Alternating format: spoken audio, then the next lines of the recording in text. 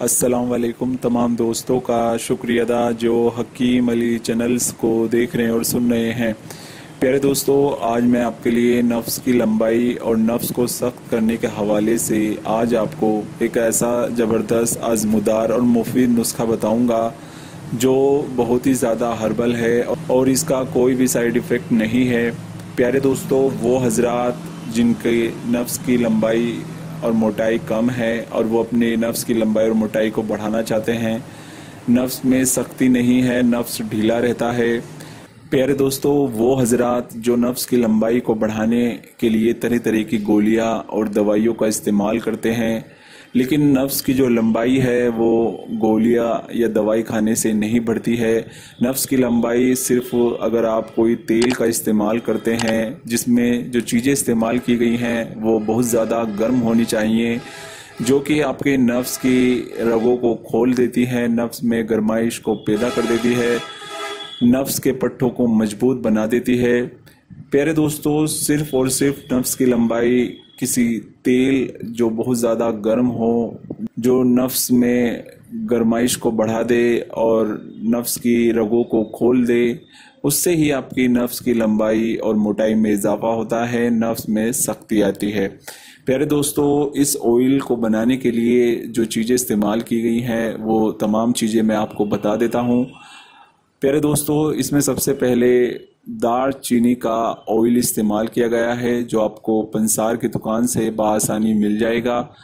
आपको दार चीनी का ऑयल 12 ग्राम लेना है और दूसरी चीज़ इसमें लौंग, रोगने, लौंग लौंग का जो तेल इस्तेमाल किया गया है, वो 12 ग्राम इस्तेमाल किया गया है। ये भी आपको आसानी से पंसार की दुकान से मिल जाएगा। किसी भी अच्छी कंपनी का आप ऑयल लेकर इस ऑयल को बना सकते हैं। तीसरी चीज़ इसमें जो इस्तेमाल किया गया है, वो है माल कंगनी का तेल। यानी कि रोगने माल कंगनी ये भी किसी अच्छी कंपनी का आप तेल लेकर इसे भी आपको 24 ग्राम लेना है।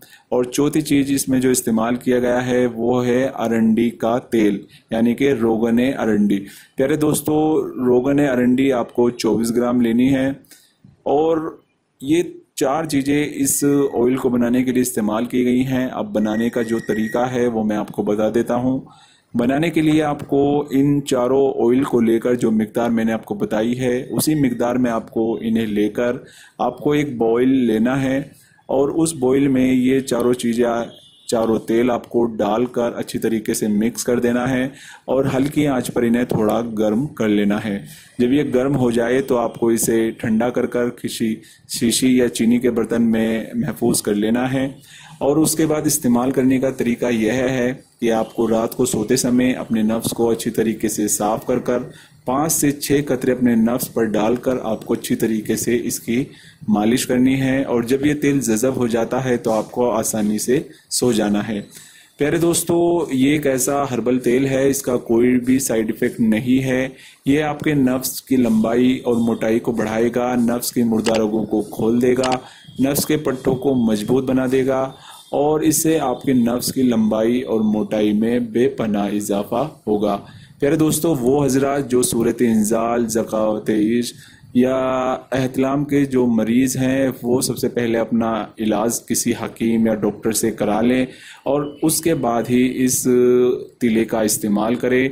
इन इस तिले के इस्तेमाल से, चंद दिनों के इस्तेमाल से आपके नफ्स की लंबाई और मोटाई में इजाफा होना शुरू हो जाएगा। नफ्स में बेपना सख्ती आएगी और जो भी आपके नफ्स में तमाम दिक्कतें हैं इन इस तिले के इस्तेमाल से दूर हो जाएँगी।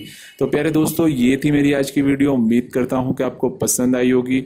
अगर आपको मेरी वीडियो पसंद आई है तो वीडियो को लाइक करें और चैनल को ज़रूर सब्सक्राइब करें। तो दोस्तों, मिलते हैं अगली नई वीडियो, अगले नए टॉपिक के साथ। तब तक के लिए खुदा हाफिज़।